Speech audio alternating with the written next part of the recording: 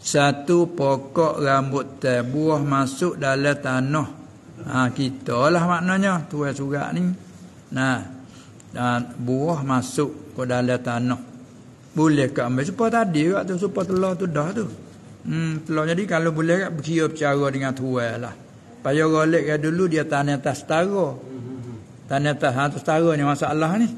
Nah Ha, kadang-kadang berkata setara mana, atas setara mana dia tanam pokok kayu, pasal buah dia jauh pada setara, tapi dah dia dah. Ha, mengapa gitu kan dah.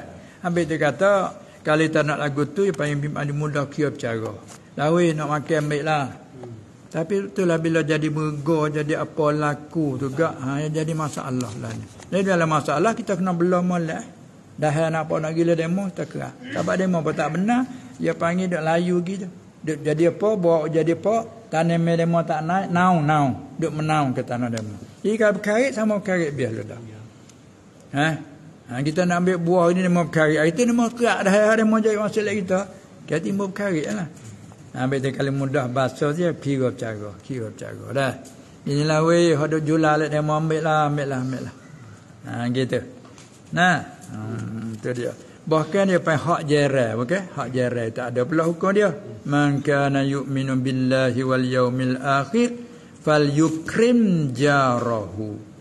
Siapa adalah beriman dengan hari akhir, beriman dengan Allah hari akhir yang sebagai iman sempurna, naklah buat beliau pada jiran tetangga. Jiran ni rumah rumah.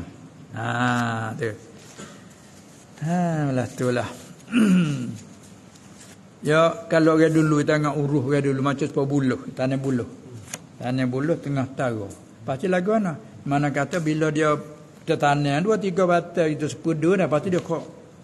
Ha, masuk le tanah demo pasti lagu mana uruh. Gini lah we. Ada ni demo ambil. Ha ni ambil. Lagu tu. Uruh tu. Ha, pasti kali bila mai ni jadi timur perkara itu seelok tak tanah tak taro lah. Tanah lah kita terus. Hmm, tu nah. Ah itulah di antara lain jalan nak ukah hak ni pula kepada orang yang pemimpin bijak pandai bila berlaku masalah dah. Ha, jadi jalan ukah atas kira bercara bersuluh berdamai dia panggil. Dalam Quran sebut dengan jalan syarat wasulhu khair berdamai itu dan lebih baik. Tak kira jenis damai apa-apa saja. Ha.